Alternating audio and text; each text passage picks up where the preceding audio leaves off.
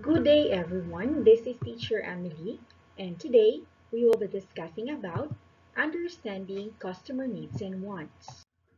Here are our objectives for today's lesson. At the end of the session, you will be able to differentiate customers' needs and wants and identify the products and services that satisfy the needs and wants of the customer. To understand the customer needs and wants, let us first recall what is a need. Needs refers to goods or services that are required for health and safety. The basic needs includes food, clothing, and shelter. What about wants? Wants are the things that are desirable or of interest but are not necessary for survival. These are the following. We have jewelries, luxury cars, laptops and computers, a designer cloth, or not limited to travel tours. To look into the needs and wants of the customers, conduct an environmental scanning. What is an environmental scanning?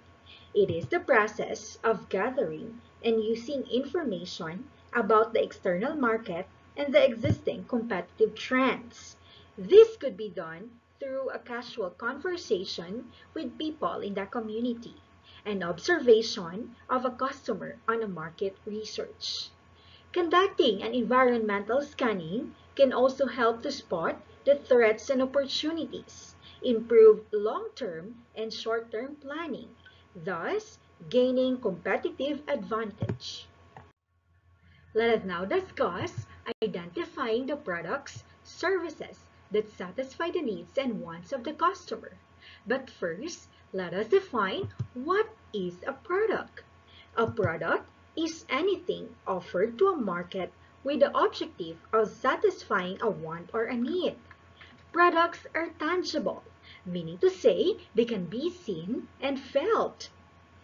This refers to the objects or products that are manufactured, stored, transported, marketed, and sold.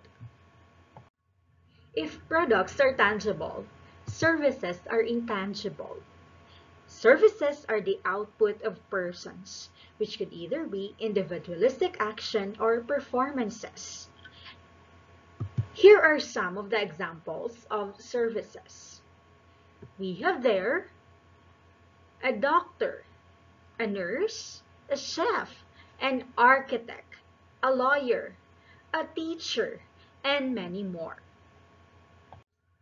In order for us to satisfy the needs and wants of our customers, here are the four things that we must remember. First, we have to identify. Identify what your customers need from you through your keyword research, focus group, or social listening.